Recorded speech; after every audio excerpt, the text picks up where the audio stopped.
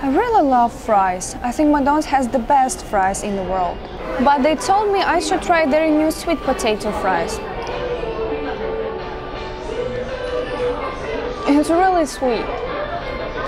Like us on Facebook if you haven't, and don't forget to subscribe for more new videos.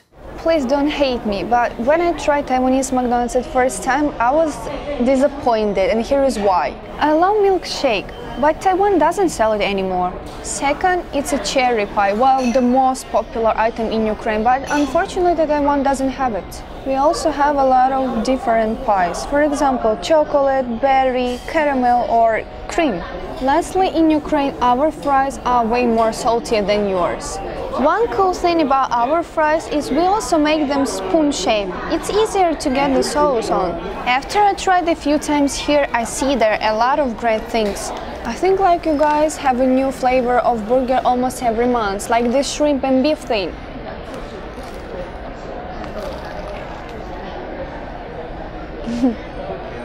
so crispy. Mm.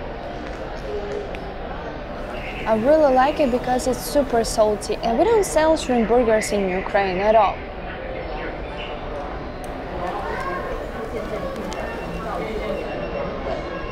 Mm. And one more thing.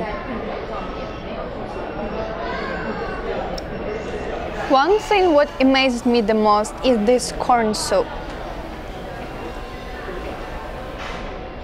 At some point we don't have well, absolutely sure that Ukrainian will like it. Another great thing here is that you can recycle in the store. We don't do that in Ukraine. Servers always super nice. Some speak English, some will show me the picture menu.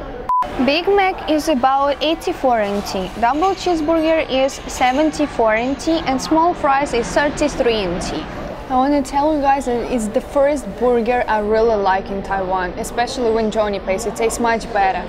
You are welcome, and I'm sure it tastes better.